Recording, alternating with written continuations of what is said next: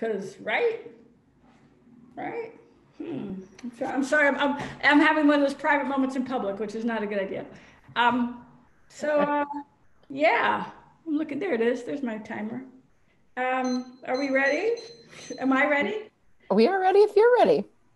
It's Watch Me Work. I hope everybody had a good, uh, however long it was that we were away, um, getting other work done. It's Watch Me Work. I'm SLP, uh, the writer in residence at the Public Theater. We've been doing Watch Me Work for 11 years. And I think in this COVID time, when we were, we're kind of going every day for weeks and then we've done as many sessions as we did every week. I don't know how to say that. Anyway, we've been doing this a lot lately and it's been fun. I've been having a wonderful time. So what we do is we first we thank the Public Theater and thank HowlRound because they have been supporting us and making this beautiful thing happen. So giving love to the Public Theater and to HowlRound. And we work for 20 minutes together and then I answer your questions about your creative process and your work. So it's basically all about you. That's what we're here for. And if you have a question, Audrey will tell you how to answer it. Thanks, SLP. Um, so if you have a question, you're inside of the Zoom, all you need to do is click on the participant tab, um, likely at the bottom of your screen. If you're on a laptop, at the top if you're on an iPad or a tablet, there's a raise your hand button in the participant tab that you click on. It'll raise your little blue hand and I'll call on you um, if we've got time. Uh, if you are watching on howlround.tv, you can ask us a question by tweeting at us at, at WatchMeWorkSLP with the hashtag HowlRound, which is H O W L R O U N D. or you can tweet us at Public Theater NY, or you can write to the Public Theater's Instagram. And those are all the ways.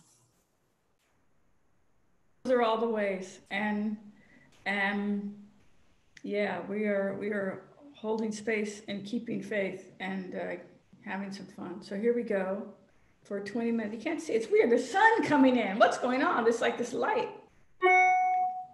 there it is. Anyway,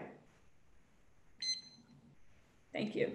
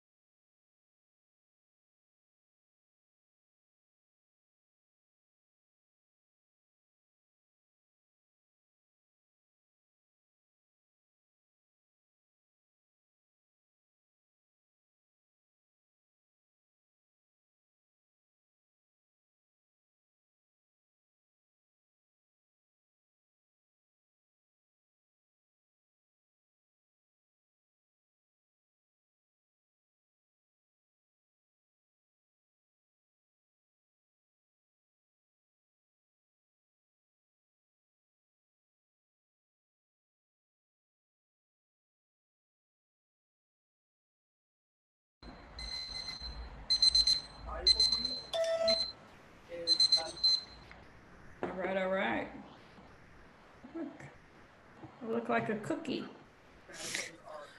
you do look like a cookie. What are those cookies? Those are my favorite kind of cookies. I love those. oh, they're called. There's a name for those cookies. Yummy. Yes. I. Are you ready? Yes, ma'am. Let's do it. All right, Melania. Oh, she's gone. Oh, we'll come. Eh, come back if you have a. Oh, she's back. All right, don't worry. Here you go. Melania, are you still? Hi. I'm here. I pressed the wrong button. Hello, Suzan. Hello. How are you? There are so many buttons in this thing. So, hey, eh, first of all, I miss you. Oh, likewise. Yes, I miss you a lot. So I am so happy to be here. And I would like to share that, you know, that the last time we talked, eh, I was saying, I was thinking about sharing what I am doing with people from Argentina.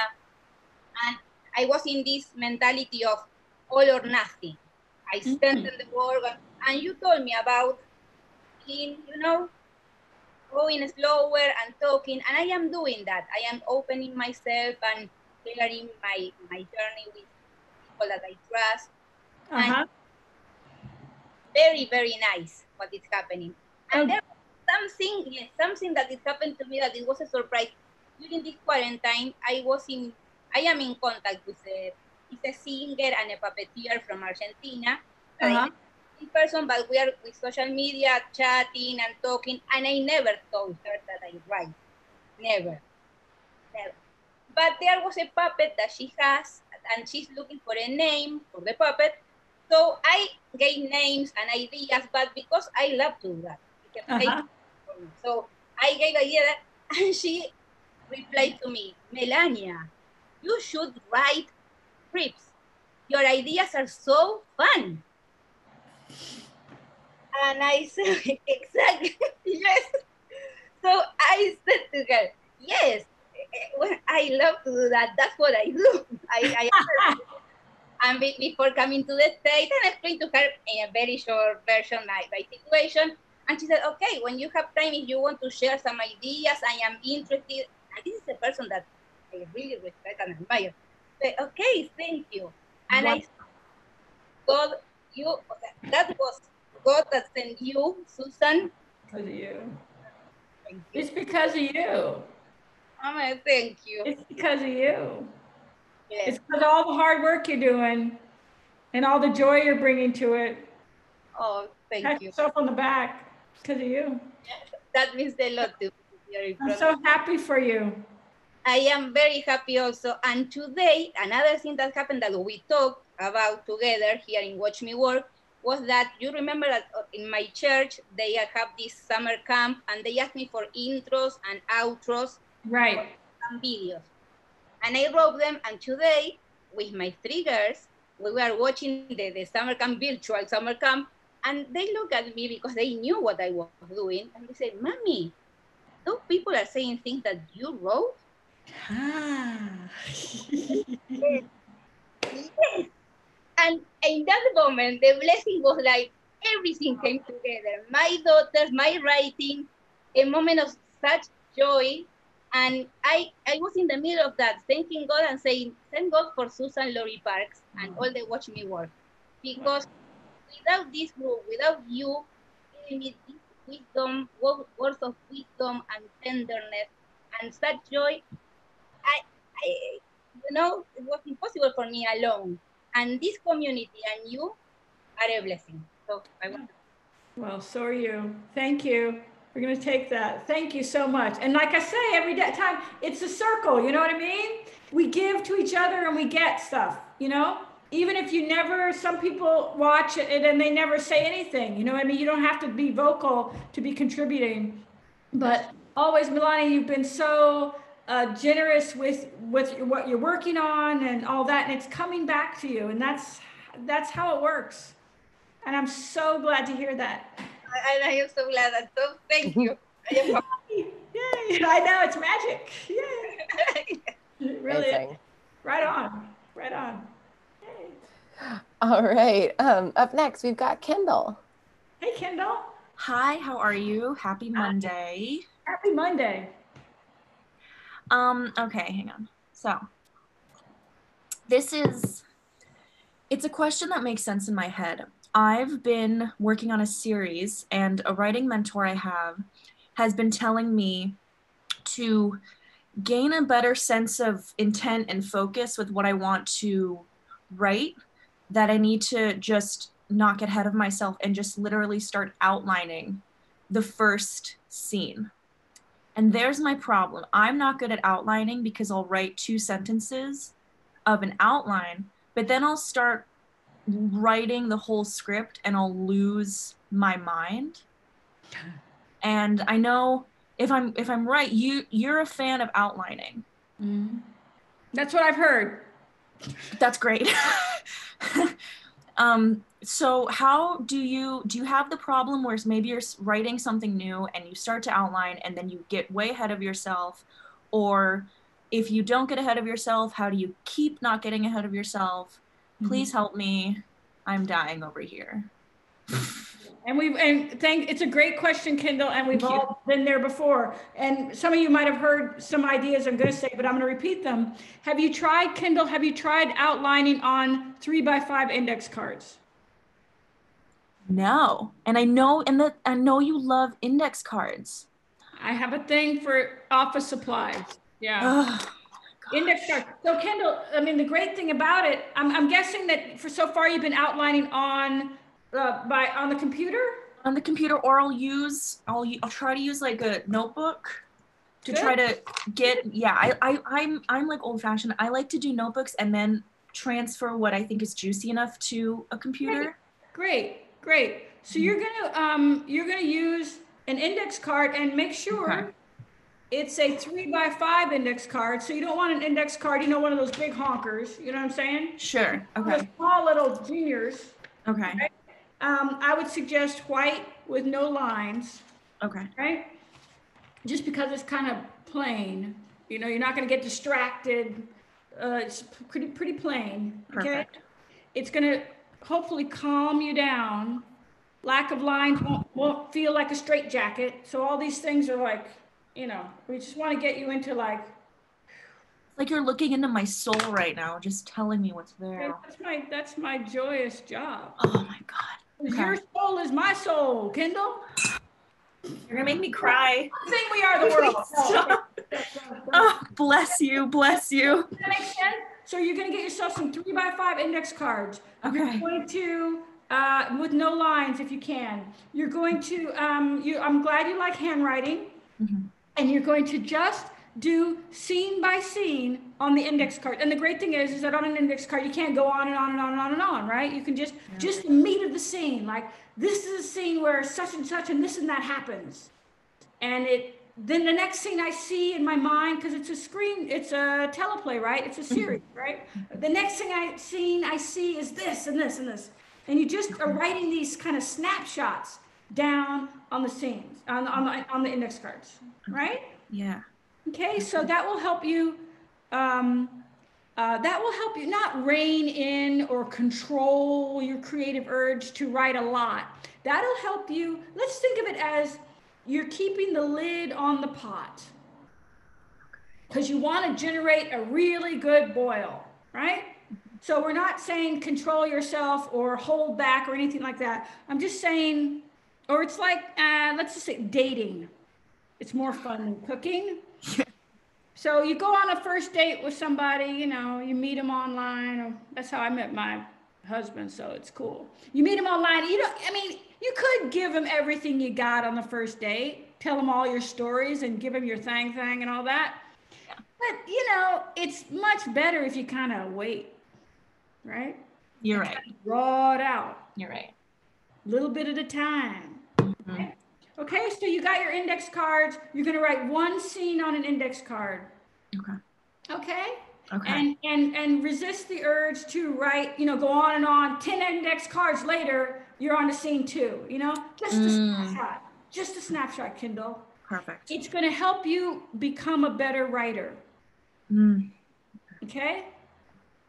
All right. Thank okay. you so much. And keep coming back to this. You know, uh, you know, oh, coming back. I will. It's fun. Oh, this is so. Good. Thank you. Thank you so much. Thank you. Thanks, Kendall. Um, all right, up next we've got Charles. Go Oh, for it, Charles. Hey guys. Hi, welcome Hey back. Suzan. Yes, thank you. How's it going? Good, good. I've been coming to class without my video because I was taking my tanning outside uh, and I didn't want you guys to see me tanning. So You That's were why. tan- Oh, you, were you really? Tan- are you serious? You were tanning? yeah, I was riding outside, like enjoying the sun in California. And, but you know, I didn't want you guys to see me without my outfit from the top. So I was like, let's Oh, keep it oh, oh, PG. Thank you, thank you, thank you. We would have been like, oh my goodness. Are you So- about like the war or something? Yes, exactly, exactly. Uh, actually, I have today. I'm gonna ask a different question, but I'm gonna go back to that project because. Uh, Oh, so my friend, um, he offered me. He's an African American, and he offered me. Um, he uh, the story of Anansi, the folklore story from Anansi, mhm, mhm. and uh, my question is, uh, do you think I we what's your what's your uh, point on on uh, characters, folklore characters? Do we need the right for them? Do we need to take the rights or not? Oh. Uh, it's tricky. Anansi the spider, right? Is that? Exactly. Yeah, I my feeling is that with respect and grace, folklore characters are, you know, like I, I, I'm not a lawyer, but I my guess would be folklore characters in the public domain. Okay. And they're old tales, and so you you handle them with respect and grace. It's like it's like a beautiful thing that your you know great great great great yeah great he's yeah know? he's dealing with uh, the old culture because he's african american like i'm like dude i will help with the you know writing and but you take care of all this Oh, great. Okay. Yeah. I, and I think, I think it's, I think it's public domain. That's what I think, but I think a lawyer would have a, thank you so much a professional opinion. thank you suzan and i'll get you another uh, question this week so be ready for me Happy tanning, happy tanning. Thanks, thank you thank you right Vitamin D. That's right. Vitamin D is Yes. Very important. It's so important. Um, next we've got Nick. Hey, Nick. Hi, wow, this is happening. Uh, long time watcher, first time participating. Right Uh, on. Yeah, so I have, I do a lot of hip hop theater work, and I have a play I've been working on for years. I've gotten to do like a nice little run of it. I've gotten to do an updated draft. I feel really good about where it's at. But of course, the one problem I have is I cannot get a good synopsis down, like that good two sentence, three sentence kind of thing that gets the gist of the play out there. And I'm a little lost on that. Okay. So how do, so how do we write, how do you write a good synopsis? Hmm. Okay. So, right. So, I mean, I'm, I'm sure you're an improv guy. I'm sure you've tried a hundred different ways to do it. Oh yeah. You're, you're willing to try shit, right? You've actually gotten in an elevator. Do you have an elevator in your building? I'm guessing you're in New York. Where are you, man? Uh, I'm in Brooklyn. Um, we only have stairs. It's like a three story apartment. Great. What floor are you on? Third. Great. Can you walk up the stairs? Are you I allowed? Great. I mean, you have you have the ability. Great. So go downstairs. Tell yourself the story. It's not an elevator pitch because you don't have no elevator, and I don't want you to go to an elevator with COVID and risk your life. Okay. But why don't you try walking up the stairs? You know. So w- try with a friend. If you also you get your cardio, which is doubly good, right? Walk up the stairs with a friend or by yourself and talk to yourself out loud. Okay, so this is what my play is about. There's this guy, there's this woman, there's this jackalope, and they're walking and then the end of vote. Right? Try it. Try it. Get your body. Do you are, have you involved your body in the in the writing of this synopsis? Uh, no, not yet, but There now. I will. Yeah, Try that- it. mm. what we do what we do is it, i mean it's not just some bullshit thing although it might be but what what i'm trying to what i'm encouraging you to do is engage another part of your brain so in walking up the stairs you're actually doing right you're, you're telling your brain ho right that, but, but you're ma- make, helping your brain fire across itself right you're also actually using your legs, not just sitting at your desk going, hmm, right? You're actually probably working up a little bit of a sweat or getting your heart rate going, and your brain might start firing on different cylinders and get you out of the rut and get you into a groove. You see what I mean? So it's an actual thing. It's like you you've you've heard, you know, famous writers, they they go for walks and get ideas and all that. But right now we're going to have you walk up the stairs and talk out loud telling your synopsis. You want three sentences, right? Yeah. This is it. The dad is a big guy. He the demi came again, and in the end he got again. And before you know the words, you're an improv guy. You can just do gobbledygook like when Paul McCartney wrote yesterday, he was saying scrambled eggs. You know that. Like when children learn to talk, they just go, please, So you're just going to go gobbledygook. What you want is and then he and in the end, that's your synopsis. You're going to find the right words. Awesome. Okay? It's fun. And if it doesn't work, you at least get your steps in. Yeah, that's, thank you. That's awesome. Thanks, Nick. No, I do shit like that all the time, man.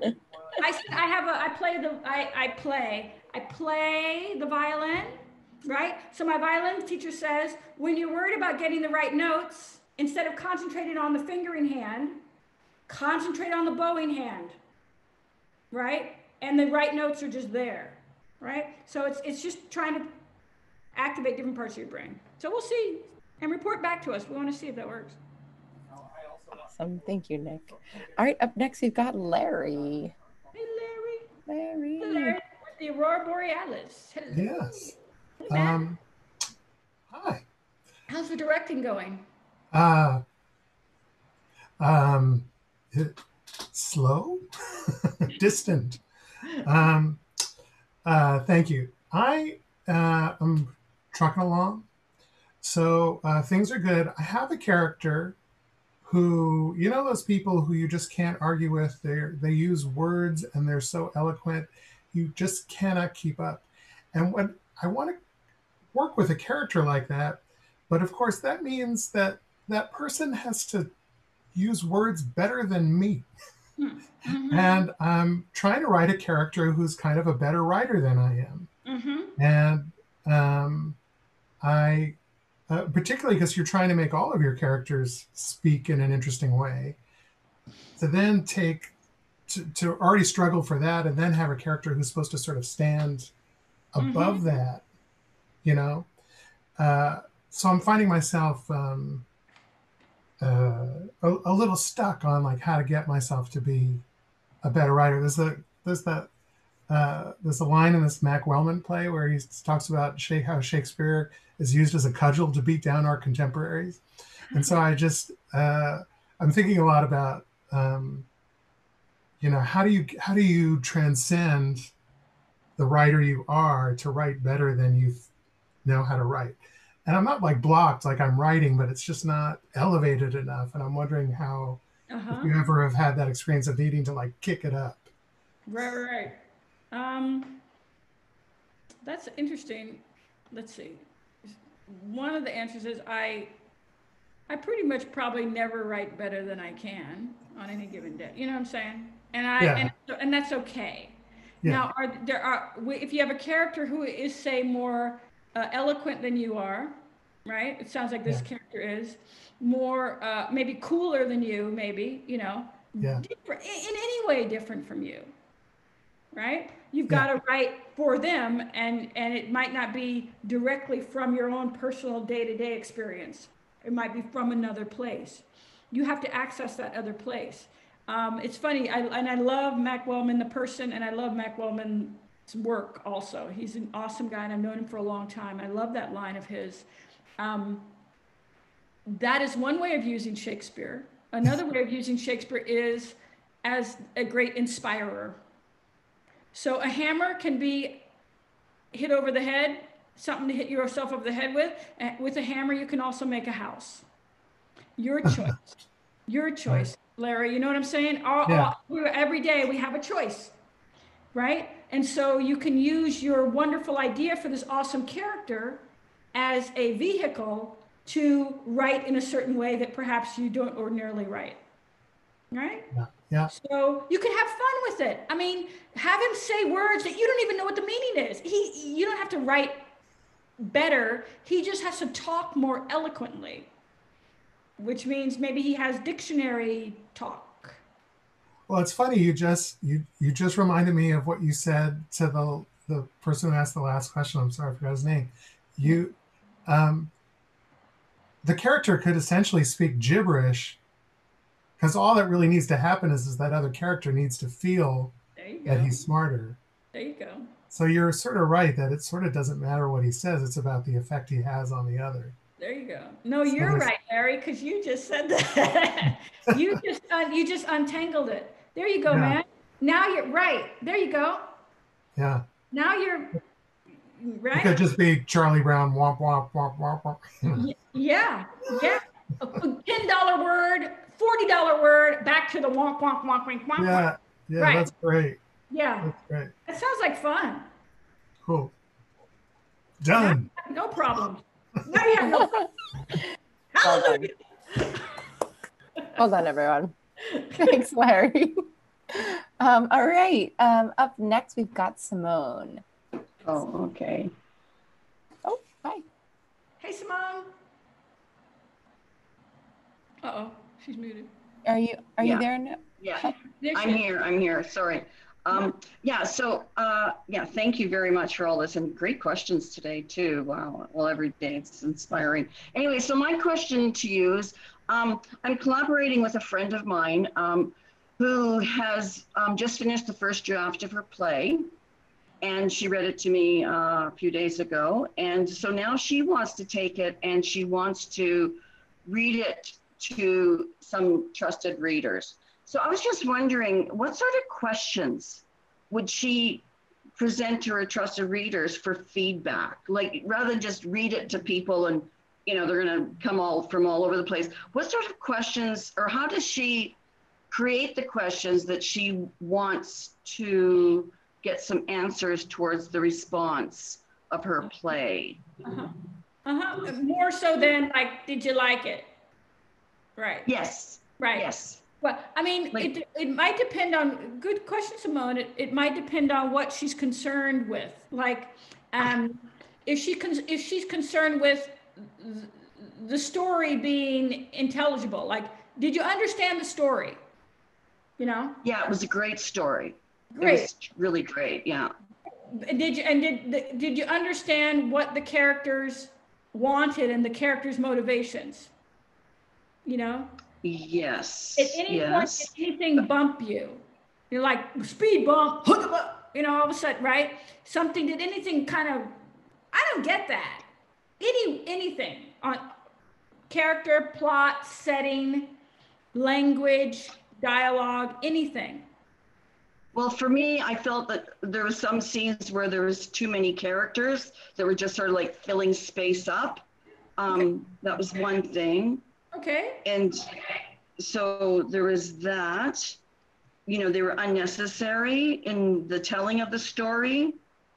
Um, and then I felt that there were some scenes that she was in a relationship, like her the character's development, that she was really afraid to go too deep into it. So I could feel her holding back in the writing.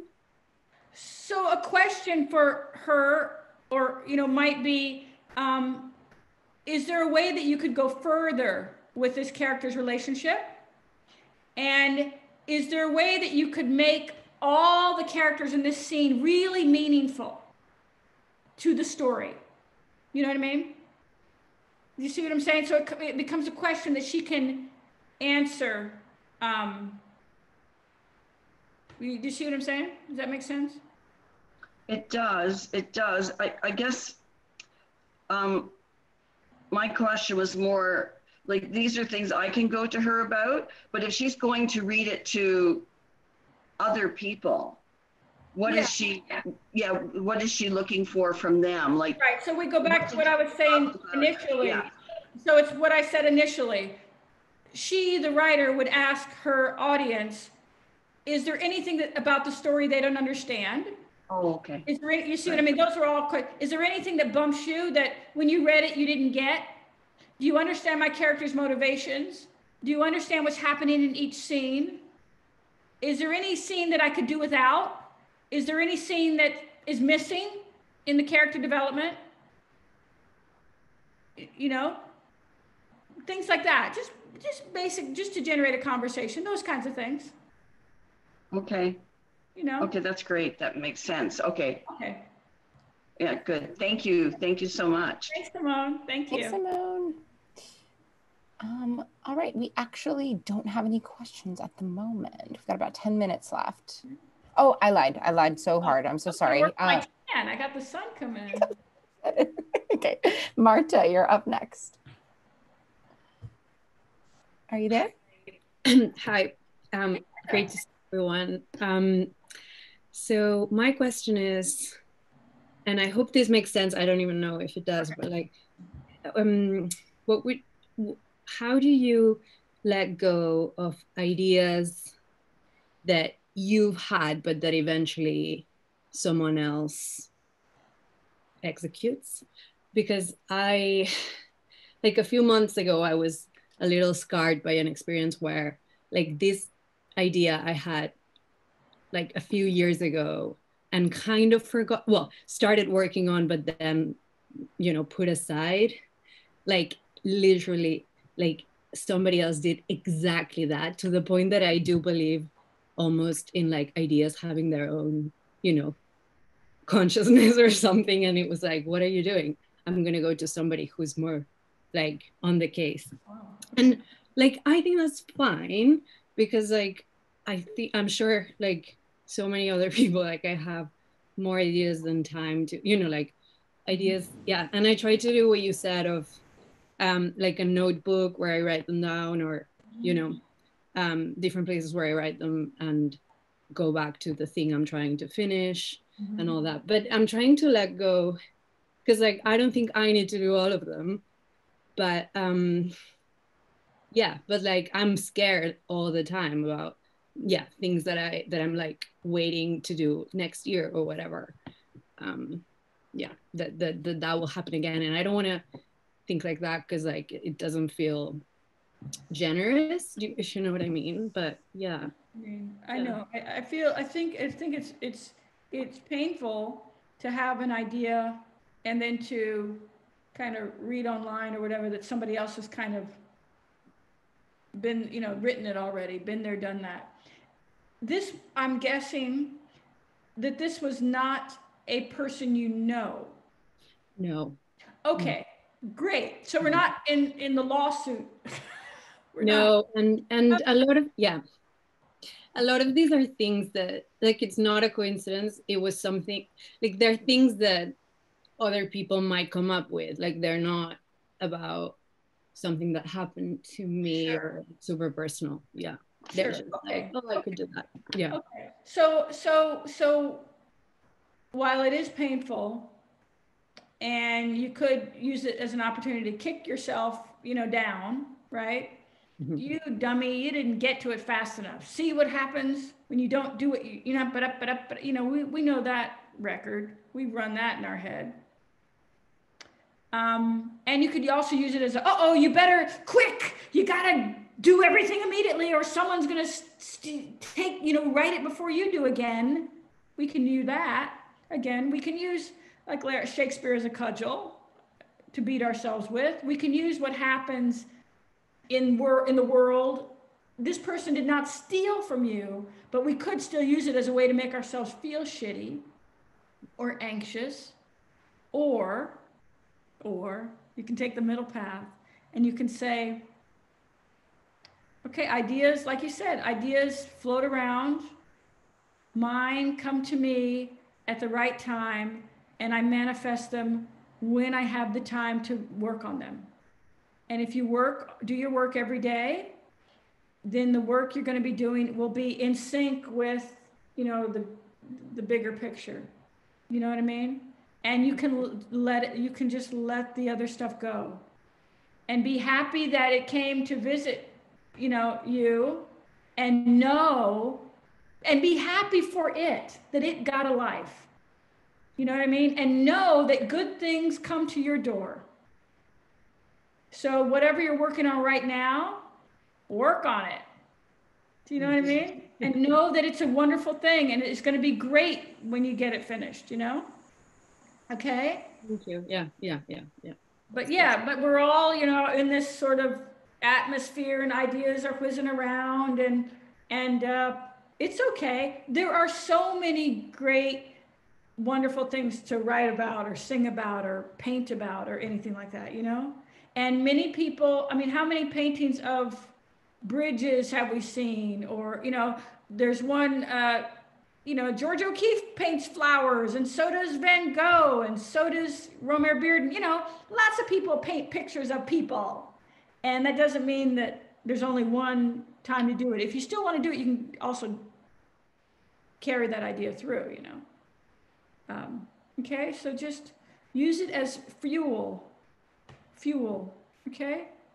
Yeah, thank you. Thank you very much. Thanks. Thanks, Marta. Um, all right, we've got about five minutes left, and we're going to go to Greg. Oh, hey, Greg. Hi. Hey, everybody. I love you guys. I haven't been here in a while, and it's so nice to hear all your questions. You're all so brilliant. Um, you kind of answered it actually in the last question, but it's a, I'll ask it anyway because I think you might have something interesting. I'm in flow right now. Like, like I'm, I'm loving it. I want to write. I'm heading to my desk. I'm like, oh, I got this, you know, and it's really, really great. But for like a year, I have not been in flow.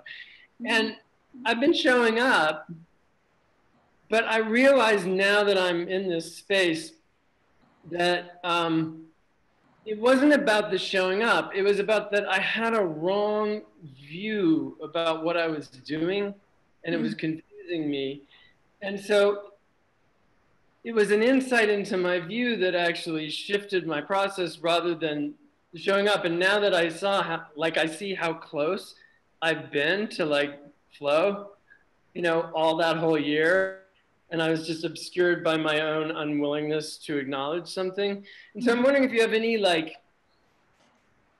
practice that, or, or if anyone has any practice that they do that's more about like shifting perspective. If you feel like you're stuck, but you don't really know why, because now that I see what I was thinking incorrectly, it's just like the gates have burst open, but somebody had to point it out to me, you know? Mm-hmm. Mm-hmm. Does that make sense? Yeah, yeah, it, it does make sense. And I I mean, I've come to the point in my career where I think it's all flow. That's nice. Yeah. It's not all easy though, Greg. Yeah. But if I can believe that it's all flow, just I'm always on the river or in the river. Sometimes it's difficult, sometimes it's easier, but I'm always in the river. Do you know what I mean? And for me, that perspective had to shift because, for example, I wrote Topdog/Underdog in three days. Wow. And then what are you supposed to do after that? Walk around and go, I'm a three day writer. ha ha fucking ha, right? The spirit goes, huh, right, right. And then the next play takes a year and a half to figure out. And then you go, oh no, I must be on the wrong track. Guess what? No, you're just on the track. okay. See, so you've been in flow all the time. All this time you've been in flow. It's like that that that thing that people say, you know, God, where were you in my time of trouble? I was carrying you. You know, we've, we've heard that story. You know, um, you've been in flow all this time, like Dorothy and her shoes, yo. You know what I'm saying? It's in all the the great stories.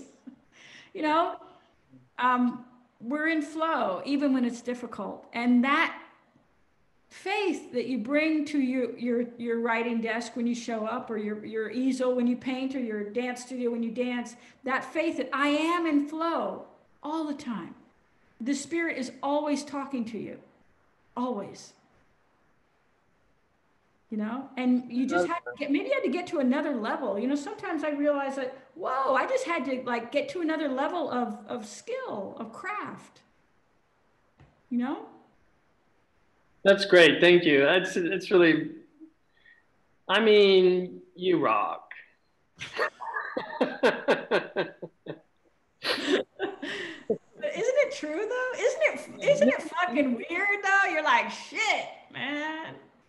Well, I guess that's why I'm going crazy is because I, I'm now that I'm there, I'm I have seen that. It's like, oh, I was working it out, but it just felt so awful, you know. It's like, Yeah, it does. It feels awful. It feels like like you're scratching at your skin, and it sounds like fingernails on the chalkboard, and ah, Calgon take me away, and all those things, all those horrible. It feels awful. yeah.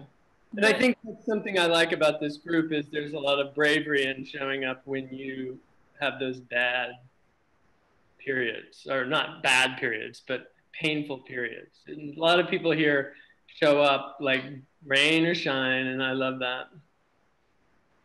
Yeah. Me too. I do too. Thank you, Craig. You always say it's not about you, but I'm just so curious. How long did it take you to write Father? Oh, uh, it, it quicker than it took me to write fucking A. No way. Wow, that's amazing. Yeah, shit way. Yeah, it's it's it's a long, strange road, brother. I love that play. Thank you, Greg. Well, it, it- we've got three seconds until 6 p.m. So we're gonna make we Chester. meet 6 p.m. It's time. George Michael, I knew you were waiting. yes. Yeah. Amazing. Ah, welcome back. Yeah, Thank really. you for being fun? here. Isn't it fun? This is so much fun. It's- yes. And we'll see you tomorrow. See y'all dancing. Uh, uh, uh, uh. Yeah. All right. As a reminder, please sign up by 3 p.m. Eastern on the Public Theater website or HowlRound, and uh, I'll send you a link between 3 and 4:30 p.m. Eastern. Thank you, Audrey. Thanks, Thank you, SLP. We love you. Thank you. Bye.